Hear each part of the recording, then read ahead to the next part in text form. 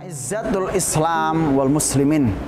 Izzahnya Islam dan kaum muslimin ada di anak-anak cucu kita.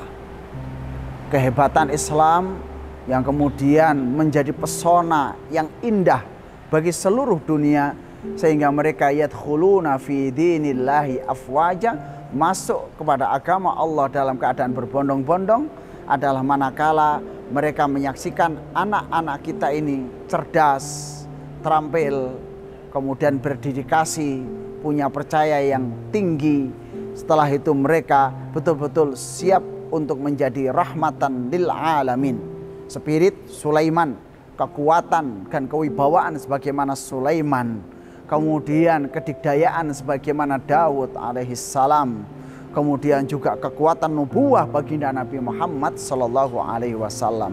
Anak kita perlu sarana yang besar.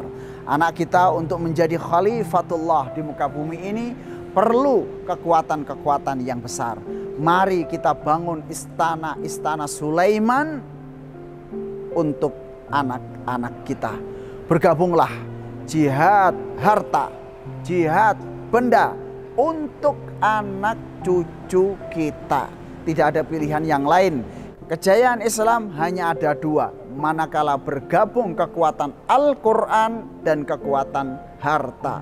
La hasada illa fitnain rojulun atahullahu Quran wa rojulun atahullahu malan.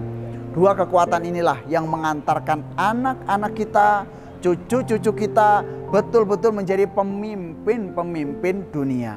Ayo bergabung ke Al-Azhar International Islamic Boarding School. Jangan ragu-ragu untuk berjihad harta. Semuanya tidak ada lain adalah menempatkan istana-istana pendidikan, kekuatan-kekuatan pendidikan untuk anak cucu kita bersama. Hidup kita tidak ada yang lain kecuali hanya bertanggung jawab kepada Allah untuk mengelola alam semesta ini.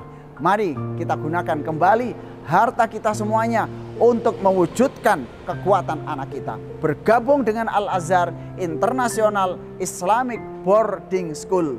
Qordun Hasan, infak, sodakoh, wakaf, itulah kekuatan kita semuanya dan juga kendaraan kita menuju kepada Jannatul Firdaus bersama dengan baginda Nabi Muhammad Sallallahu Alaihi Wasallam. Assalamualaikum warahmatullahi wabarakatuh.